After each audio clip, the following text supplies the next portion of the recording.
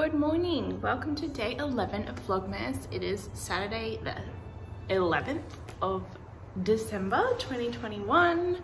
Uh, it is 8.34 in the morning. My name is Madeline, my pronouns are she, her and hers. And I come to you today on the traditional lands of the Gubbi Gubbi people of the Sunshine Coast region. Ah, well, I still have not edited day 9 or 10, so probably that has to happen today. Um, I'm about to head off to the optometrist to get another eye check. Um, my eyes are fine, but my glasses are a bit uncomfortable. So um, yeah, I'm going to um, yeah, have an eye test. Hopefully my prescription hasn't changed too much. I don't think it has. My like my sight seems the same uh, but I just like some new frames. Uh, so yeah, it is 14 sleeps until Christmas, yay. Um, we'll do Advents a little bit later. Um, no real big plans for today. Optometrist, probably do some Christmas shopping, walk around the big shopping center that I'm going to, the plaza.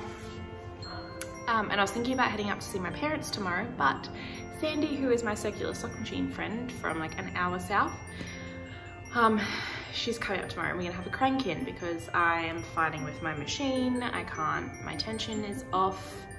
I theoretically know how to fix it, but I haven't been able to do it. And I'm really struggling with making heels and I need some more lessons. So I think tomorrow is just gonna be making a lot of orange heels, which will be good because then once I can do it, I'll be able to make full socks and it'll be sweet. Uh, so yeah, I've just done a couple loads of washing this morning, got my sheets out on the line. I love sheet change day. The debate I have in summer is do I, I have two sets of sheets for my bed.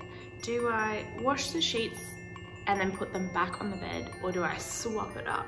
And so today, because I don't really love folding sheets, I decided that I would dry, like wash and dry these ones and then I'll put them back on this afternoon because we're having such a beautiful day. You can't tell because my blind is shut. But yeah, all right. Um, I might also go and get some passport photos taken too because I need to renew my passport. So could do that today or I could do that during the week. Anyway, that's all. Follow me to the shops as we uh, get my eyes looked at. I'll see you soon.